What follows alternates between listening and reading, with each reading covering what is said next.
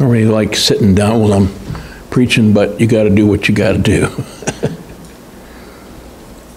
Bob was sitting on the plane at Cleveland waiting to fly to Chicago when a guy took a seat beside him. The guy was an emotional wreck, pale, hands shaking in fear. What's the matter? Afraid of flying? Bob asked. No, it's not that. I've been transferred to Chicago. The people are crazy there, right? Lots of shootings, gangs, race riots, drugs, poor schools, and the highest crime rate in the USA. But Bob replied, I've lived in Chicago all my life. It's not as bad as the media says. Find a nice home, go to work, mind your own business, and enroll your kids in a nice private school. I've worked there for 14 years and never had the slightest trouble. The guy relaxed and stopped shaking. Said, Oh, thank you. I've been worried to death. But if you've lived and worked there all those years and say it's okay, I'll take your word for it. What do you do for a living? He says, I'm a tail gunner on a Budweiser truck. I don't think that's a true story. I doubt it. John 14, 27 says, Peace I leave with you, my peace I give you. I do not give to you as the world gives.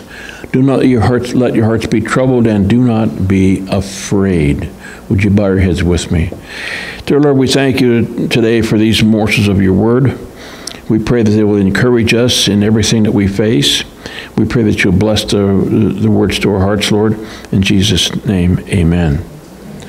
On another occasion, Jesus said in Mark chapter 4, he said to his disciples, Why are you so afraid? Do you still have no faith? This was after he calmed the storm. Life is full of storms, full of storms. Did you ever have, hear somebody say, Don't worry about it? Did it help? Probably not. Did you stop worrying? Probably not. This is about fear and worry. If you're going to worry about something, you're going to worry. Does worry help? No.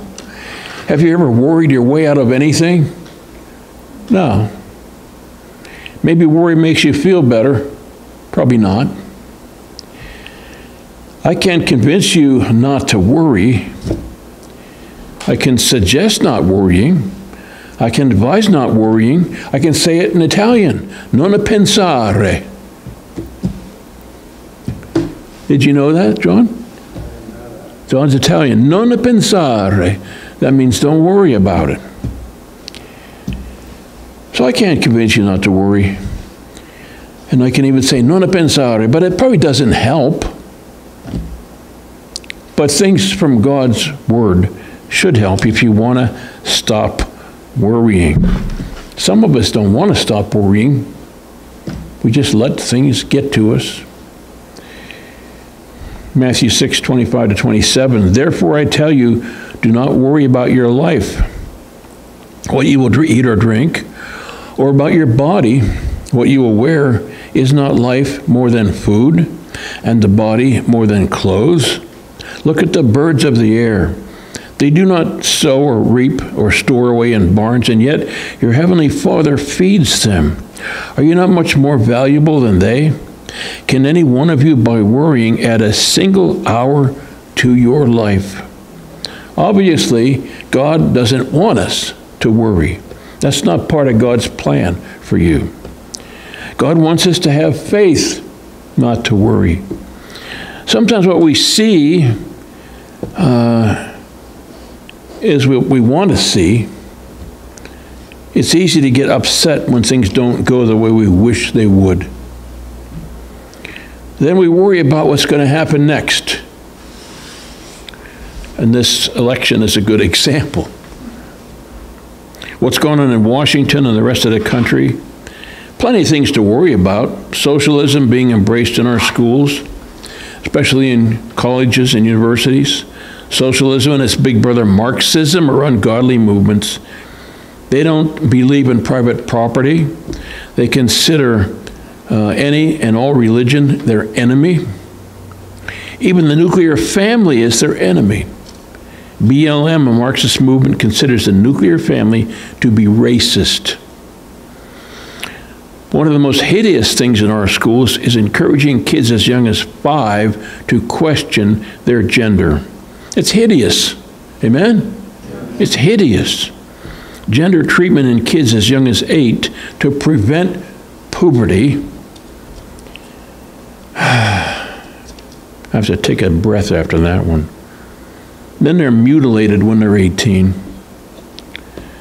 Trying to turn men into women and women into men it's hideous. God made them male and female. And you know, Sweden and some of the Scandinavian countries have outlawed that. They had the good sense to realize, and those puberty blockers are dangerous. Young girl went into, went into um, osteoporosis because of the puberty blockers they gave her, because she wanted to be a boy. And then they don't want the parents to know. Don't tell your parents. It's hideous. Plenty to be worried about. Border security has been abandoned. We can't take care of the whole world.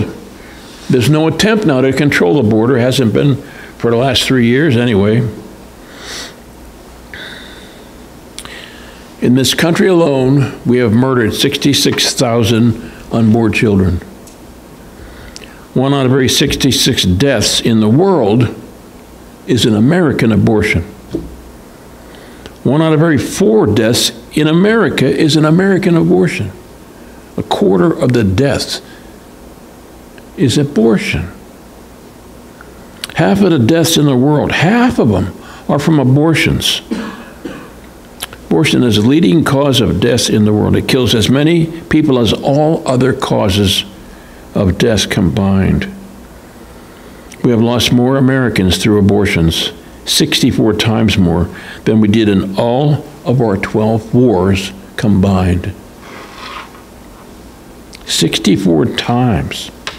The world kills more people through abortion than all of the deaths in America combined, 22 times as many. God will surely judge 67, I think it's 65 actually, murdered innocents. We live in a nation that considers abortion a sacred right. That's what's driving one side of this election. God help us. Gay marriage, they're being married in church by a minister and they're all smiling and happy about that. Plenty of things to be worried about. We worry about paying bills. During COVID, we worried about having church. We worried if they're doing the right thing if we did have church. We had people sat in every other row here, and we had masks out in the back and signs on the door. And we had three very, very serious uh, people with COVID pneumonia. We had to pray them out of the hospital. John was in there for 16 days with COVID pneumonia. 16 days. Who else? Ruth was in there for what, three days? COVID pneumonia. We prayed her out of there. Uh, Bob. Bob was in there two weeks. I think six days. We prayed him out of there. It was dangerous. It was dangerous. A million people died from COVID pneumonia. Things were looking bright under the last president. Now it seems that this country is in a steep decline, a moral decline. My button's back there. You'll have to amen on your own. Plenty to worry about. The scripture counsels us not to be afraid not to worry. Joshua 1 9, have I not commanded you? Be strong and courageous. Do not be afraid. Do not be discouraged, for the Lord your God will be with you wherever you go. So that's negative and positive. Don't, um, don't be afraid. Don't be discouraged. But be strong. Be strong and courageous. Negative and positive. Fear and discouragement come from the world strength from our God. Isaiah 41:10 So do not fear for I am with you. Do not be dismayed for I am your God. I will strengthen you and help you. I will uphold you with my righteous right hand. So I don't mind telling you that I get dismayed sometimes, I get discouraged. Actually, one thing that gets to me is if things aren't going well at the church. Fortunately, things are going well at the church, praise God. But I have to admit that in the past I was discouraged when people left this church. We had 35 when I came here. Five of them died, five of them moved away. Then another family moved away because we didn't have ministry for teens. And that was kind of down. I got kind of down about that, but we hover around 20, and I'm so glad when people come and people stay. It's, it's awesome. And, but I'm encouraged by people like Boyd, like Mark and Sherry, Nancy. It's encouraging. John over there and Stephanie. They come and they stay. That's so awesome. It just it just lifts me up.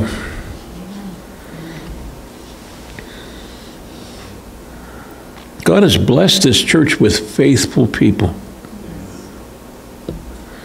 And this church is a blessing to them. We bless each other, we care, and we encourage each other. That's what a good church does.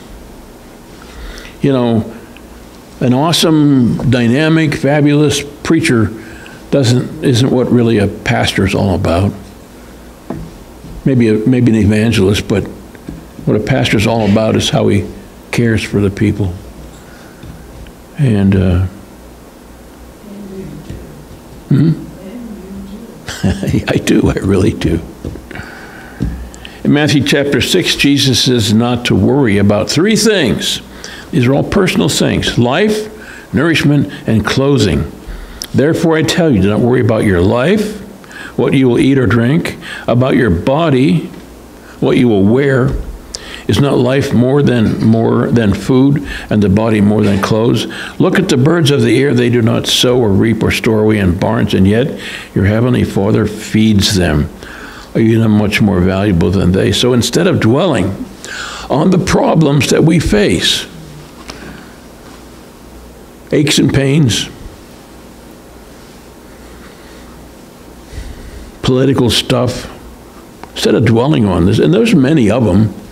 If I was going around with a microphone, you could always tell me about bad things. Instead of dwelling on those things, we should dwell on the goodness of God. Dwelling on it. Not just acknowledging God's goodness to us, but being consumed with His goodness. We have a God in heaven who gave us life, who loves us, cares for us, sent his son to die for us, and has a place in heaven for us. Wow. In comparison, the mundane things that we worry about are minuscule. We still have our problems, sometimes a new one every day, but the awesome prospect of spending eternity with Him in heaven has to outweigh all of our problems. Can any one of you, by worrying, verse 27, add a single hour to your life? Actually, you might subtract some time from your life by worrying because stress is harmful to your body. Our worry doesn't accomplish anything. Nothing. Worry doesn't solve anything. It doesn't help anything. Worrying can be harmful to the body. Stress causes illness. Verse 28 And why do you worry about clothes? See how the flowers of the field grow? They do not labor or spin. Yet I tell you that not even Solomon in all his splendor was dressed like one of these. If that is how God clothes the grass of the field, which is here today and gone tomorrow, is thrown into the fire, will he not much more clothe you, you of little faith? So do not worry saying, What shall we eat? What shall we drink? What shall we wear? Who's going to win the election? Verse 32, it doesn't say that in there, by the way. For the pagans run after these things, and your heavenly Father knows that you need them. They run after them, but God blesses you with them. Jesus, Jesus gave us the antidote for worry in verse 33.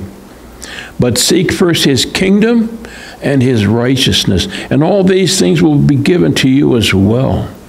Therefore, do not worry about tomorrow, for tomorrow will worry about itself. Each day has enough trouble of its own. So it says, seek first, or you could say, first seek. The priority of the life of the believer has to be seeking the kingdom of God. Thy will be done on earth as it is in heaven. Seeking both the kingdom on earth and the one that is to come. The object of our seeking make heaven our goal. Aim life toward the kingdom of heaven. Press toward it. Seek for the glory, honor, immortality, and fellowship with God. Make heaven and heavenly blessings far more, far more desirable than earthly comforts, or I could add, firstly, combats. This life is brief, brief and transitory, and though we are immersed in it physically, our seeking, our heart should be wrapped around the glory that is to come. We must seek the things of God more than our own things. If they come into, comp- into competition, we must remember to which we are to give priority. Then it says, seek righteousness. God's righteousness is holiness, it is His right way. It is an objective truth about Him and about the world. His righteousness is to be sought. Uh, the, the thought that we could conform to it and live by it. The effect of his, uh, the effect of seeking his righteousness is to live out the righteousness of Christ, given to us freely by his perfect life and death on the cross for our sins. Ours is to repent and believe, calling on the name of the Lord, and then bearing fruit in keeping with repentance. These things will be given to you as well. Seeking God's kingdom and his righteousness is a full time job. We do not have the time, energy, mental capacity to worry about all these things. This is what the world, the pagans, worry about. And it's a dead end. Part of the hell of unbelief is to never be satisfied, to be always anxious for more than you have. God rescues us from that when we turn to His kingdom and His righteousness. God knows what we need. We think that we know what we need, we know what we want. but that may not be what we really need. God knows. Everything that we get is a blessing. God doesn't owe us anything. We're blessed with anything that we get. Doesn't owe us a thing. We owe Him our whole life. We owe Him everything. Life is hard, but God is good. You can't out hard the goodness of God. We are His, we belong to Him. He paid a heavy price for ownership in us. He will take care of us. He does it in His time and in His way. Verse 34 Do not worry. Be happy. We win. Read the end of the book. Romans 15 13, may the God of hope fill you with all joy and peace as you trust in Him, so that you may overflow with hope by the power of the Holy Spirit. I'm going to ask you to stand.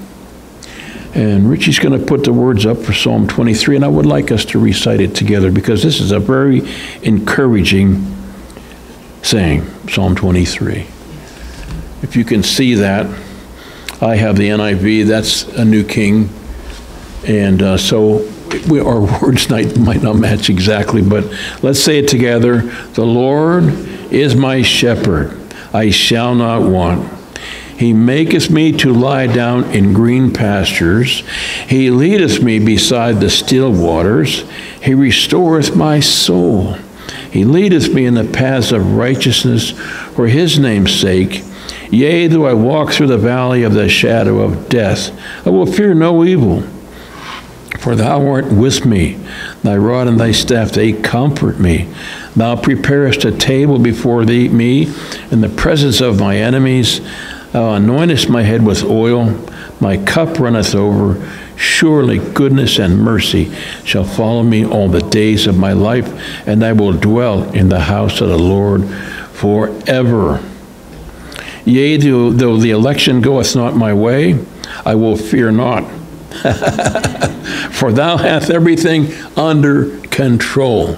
I'm just saying, let's not be afraid. Let's not worry, get ourselves all upset. If it goes our way, that's great. We go the way we think it should. We, not, we not, might not all have the same way that we'd like it to be. But I'm saying to fear not. Don't be afraid of that. Don't worry about it. Non a pensare. My eyes will see the face of God. Father God, we thank you that we've been in your presence today. We have heard your word today. Put it into our hearts, Lord. We don't have anything to be afraid of, Lord. We have mundane things, but we know that your will is not that we worry and be afraid. Because you said to the disciples in that storm, Why are you so afraid? So, Lord, help us. Help us not to be afraid because we know you don't want us to. So, help us with that, Lord. And just we just ask your blessings on everybody that's here and the ones that are not. And um, keep us from being in fear. Help us to remember to vote and to pray about the election and the other things that are happening too. And uh, bring us back safely on Wednesday when we meet again. In Jesus' name, amen.